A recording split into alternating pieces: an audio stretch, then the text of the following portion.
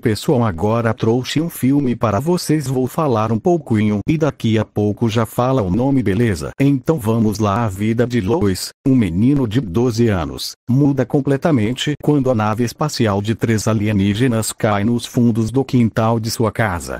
Seu pai, um ufologista famoso, congelaria os novos amigos na primeira oportunidade, por isso ele precisa protegê-los e ajudá-los a descobrir o paradeiro da nave-mãe, para que só assim eles consigam voltar para casa.